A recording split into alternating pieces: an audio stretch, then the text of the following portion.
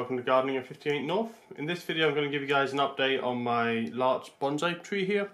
So this is a hybrid larch which is a, basically a, a cross between the European and the Japanese larch. So I've had this as a bonsai for a little while and now it's just starting to leaf up ready for spring so this is the perfect time to do any work on it. The tricky thing with the larch is they have so many little needles it's very hard to wire in any of the branches once the needles are fully grown because they're so covered in needles it's hard to get the wires on without covering up the needles. So it's best to wire them up whilst they're leafless and this, as this is a deciduous conifer um, it's best to do that in the winter time. And then the other reason is this time of year is the best time to, to do any kind of root pruning and because the reason for that is with the, the larch trees here when they're in full leaf in summer if you disturb the roots, they could really quite stress them. They got all those needles that they have to look after. They'll lose a lot of moisture through the needles and they won't be able to uptake that from the roots if the roots are damaged. So it's a good time to, um, to do it whilst there's no needles. But if you do do it in the middle of winter, the other problem you have is all the energy from these plants gets stored in the trunk and in the roots over winter. So if you were to do root pruning in the middle of the winter, you'd really quite severely weaken the plant because you take away a lot of its energy reserves. So the best time to do it is when it's like this, just starting to bud up, because it's sent up all its energy reserves into the stem, into the beginning of the, the needles, but the needles aren't developed enough yet that they're going to be transpiring too much and it's going to evaporate too much. So I'll probably do the root pruning first because uh, when I'm moving around doing the root pruning, I'll probably disturb some of the branches, and so if I have any wiring then it would disturb it. So first of all, I've got some wires here that I need to take out. These are the ones that I just put in to keep it secure in the pot when they first planted it. It should be easy enough to take out hopefully. There might be a bit of resistance if the, the roots are growing around the wires at all. So that's the wires out. I think it's been about a couple of years since I've done root pruning of this, so it's probably going to be pretty bad I would expect. And I can feel it's quite solid in there. It doesn't help that there's a lip on this uh, bonsai pot and that's going to make it more difficult. So it looks like I'm going to have to tease it out with a spoon or a knife.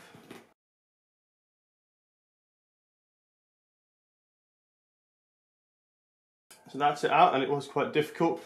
So the first issue that I can see is I've actually got some vine weevil larvae and this has been a problem on a few plants on my balcony I can see at least one of them in here, I think two. So I'm going to have to deal with these because these are going to eat all the roots off. I'll show you what the vine weevils look like. So you can see them on my hand there, a couple of little larvae. What they do is they they go in the in the soil and they eat all the roots on your plant. So your plant just seems to get weaker and weaker and you're not sure why. And what happens is all the roots have been eaten off by these vine weevil larvae. You don't really know it's happening until it's too late.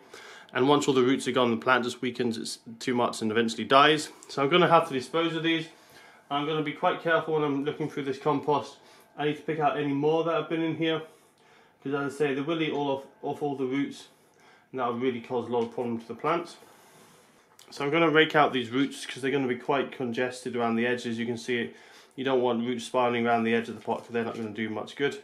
So I'm just going to loosen them and as I'm doing that you can see there's a lot more grubs that are starting to appear. So I'm hoping that hasn't caused too much damage but I've already had a couple of plants completely killed by vine weevil larvae this year um, so we'll just have to see how this does but it's really not looking good unfortunately. There should be a lot more roots in the middle here and there's really not a lot of roots going on. All the roots are around the edge um, you would expect it more in the middle, even if it has become root bound and spiraled around. But those um, those larvae have really eaten a lot of these roots off.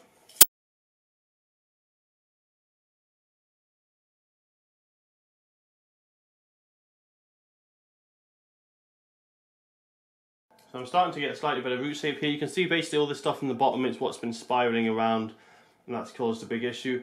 Uh, this bit in the middle is where there should have been more roots but I think they've been cut off by the the vine weevils. And then this middle area is, is not a bad shape of roots and there's still quite a few fine fibrous ones. So I'm quite happy with that root system. But all this stuff needs to be cut off. All these big strong roots around the edge, they're not really going to help the plant. They, they're just useful in the wild when it's windy to provide stability. They're not going to absorb much moisture or nutrients. So I'm just going to get my secateurs. I'm just going to cut off these thick roots. And then I'm just going to continue raking out the remaining compost carefully looking for any more of the vine weevil larvae.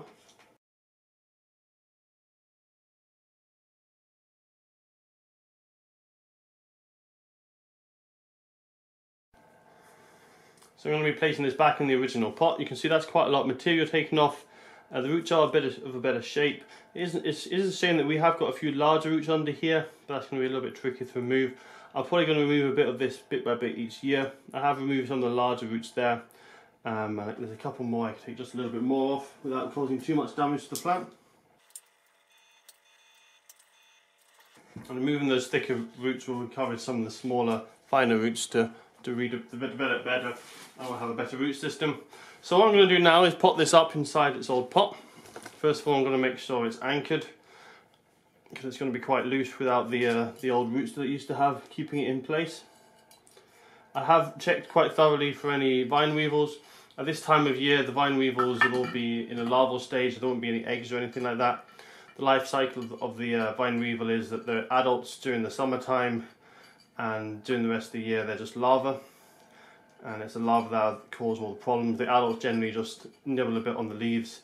They don't normally cause too much damage when it comes to the actual uh, plant apart from the leaves. So I'm just going to secure this in here. So I'm just loosely securing it with the wires for now. And I'll just tighten it at the bottom by twisting. So that will provide a little bit of support and then the rest will be coming from the compost itself.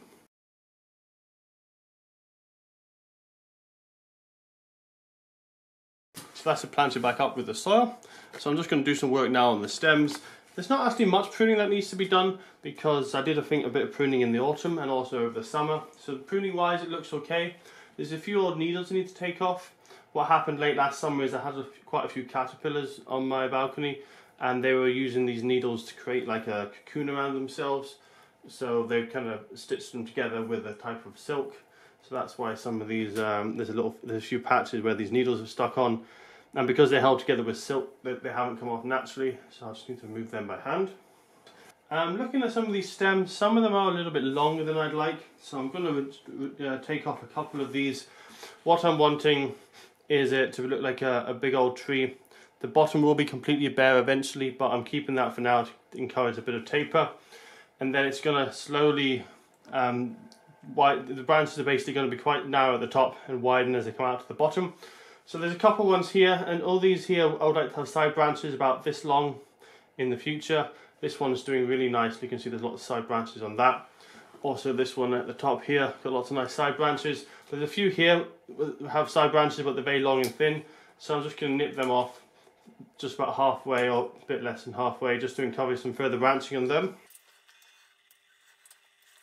The very low down branches, as I say, I'm leaving, just let them grow as large as they can, and that will encourage more taper on the bottom. And looking around here, that's just about it for those branches, I think. The ones at the top here, they do need to be shortened slightly, because I don't want these to get too overly vigorous, because what tends to happen is the ones on the top grow the fastest, because that's where the natu naturally the plant's trying to get the most light. So you just I just have to keep an eye on that and uh, reduce their length slightly. And I also do you need to try and get this leader back in. Uh, I had to cut out the top because the leader had become far too big and strong. So I'm going to try and train this one up into a new leader. So I'll just position that up with the wires that are existing on it. Checking the wires, most of them are actually quite loose. There's one here that just needs to be loosened slightly. As the stems grow, the, uh, the, the wires become tighter and can start digging into the stem. So what I'm going to do on this is uh, loosen these off. Any of them are too tight. This one can have to be removed because I'm, I'm quite happy now with the, the shape of that one. This one here does need to come up slightly, so I'll leave that one wired, but I will just loosen it so that it doesn't cut into the stem. But I'm happy with most of the branches. They're all about the right kind of angle I was looking for. They're just wanting them to come out kind of horizontal to the main trunk. The ones at the bottom, I'm not worried because these are going to be cut off completely in the future as they're just there for the taper on the trunk. So turning that around, I'm quite happy with how they're all looking at the moment. I'll be interested to see how this branches out as time comes, as time goes on. This one here, this side branch is a little bit bigger, so I'm just going to nip that right back there. But apart from that, I think that's all the pruning I really need to do. I'll probably need to do quite a lot of pruning over the summer. I find this plant is that this plant is very vigorous and grows really well. But it'll be interesting to see how it does with all that damage from the vine weevils. I've actually collected quite a few larvae. I managed to find eight vine weevil larvae on this plant So that's quite a lot of uh, material that must be eating off the roots. I'm going to do a treatment on my whole balcony this year because I say it's actually killed off one of my fuchsia plants and they're just going to continue weakening the other plants and killing them off. So I'm just going to do a treatment on all my pots, make sure all the vine weevils are cleared up. Same with this one, do a treatment on this, this bonsai. So that's all for this video, just a very quick short update on my, um, my larch here. It should come into leaf quite nicely soon. What I will do is put it on a really shady part of the balcony because because its roots have been disturbed by me doing some root pruning and repotting it, but also with all the roots that it's lost from the vine weevil, it's going to really struggle to, to, uh, to provide enough water to the needles that are growing through. So if it's in the full sunlight, it'll probably dry out too fast and it'll die off. Or if even, even if the whole plant doesn't die, it might have to kill off a couple of the ends of the branches to survive. So what I'll do is I'll put it in a shady area on the balcony. That way it'll be nice and cool. Wait until the needles are fully developed. Once they're fully developed and I'm quite happy that the roots have stabilised again and grown into the compost, I'll then put it back on the, on the sunny position I have in the balcony and it should do quite nice. Apart from the problems with the vine weevils, I'm actually quite happy with how it's looking. There's definitely quite a lot of thickening of the trunk here. It's looking quite nice. Um, as I say, I'll just continue to thicken up the trunk and develop the branch structure a bit better as it goes along.